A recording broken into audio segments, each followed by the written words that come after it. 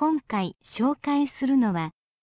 鈴木さんの成功という本です。企業を考える前に必ず読んでおくべき一冊。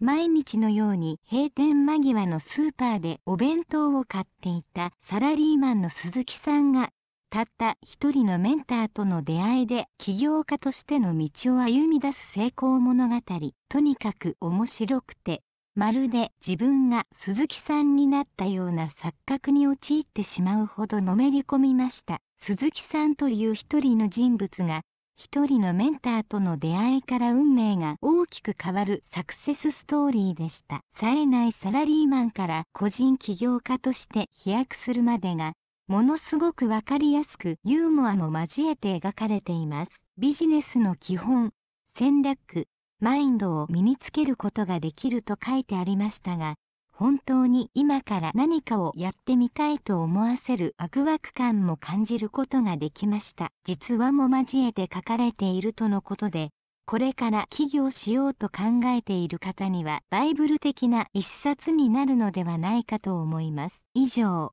興味のある方は実際の商品を Amazon などでご確認ください。今回は最後までお付き合いありがとうございました。よかったらチャンネル登録をお願いいたします。